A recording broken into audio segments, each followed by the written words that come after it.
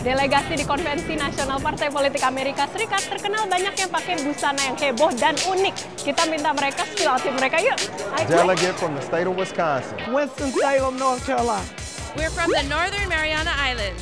And I'm a delegate from California. So we are the dairy state. It's about dairy, cheesehead. That's what it's about. All the delegates are wearing it, so everybody knows who we are. Wisconsin's in the delegation. I decided that I would enlist some alt uh, designers at home, young black female designers, and had them to make me suits. These are made with really special beads. What is it called again? Ligiturtur. She's wearing a uh, flower lei and a muer.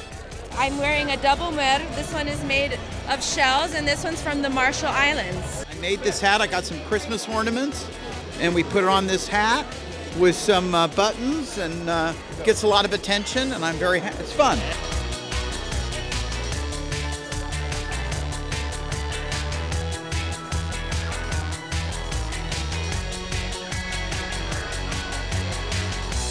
How far does it take to from there to here? Uh, 20 to 36 hours max.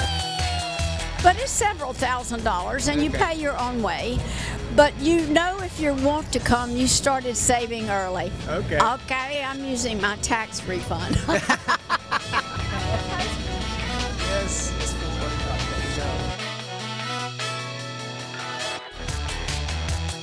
This is my Trump dress, but tonight I just wore it as a shirt so I could wear my red, white, and blue star jeans.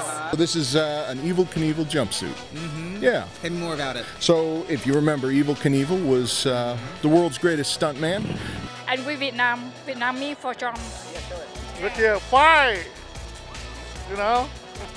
Kalau di tempat kalian pas lagi masa pemilu banyak nggak yang pakai baju yang heboh? Dan hal-hal seputar pemilu Amerika Serikat apa lagi yang pengen kamu ketahui? Tulis di kolom komen.